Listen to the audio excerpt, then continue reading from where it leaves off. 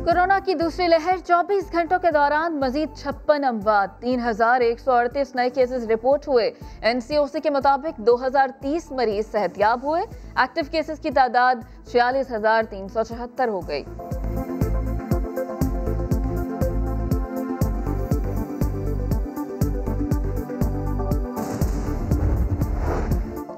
लाहौर समेत पंजाब के मुख्तलिफ़ शहरों में धुंध का राज। Lahore Multan motorway M three और पिशावर मोटरवे बुरहान इंटरचेंज बंद। पिंडी भटिया मोटरवे भी हर किस्म की ट्रैफ़िक के लिए बंद कर दिया गया। जी टी रोड भी शदीद धुंध की लपेट में है।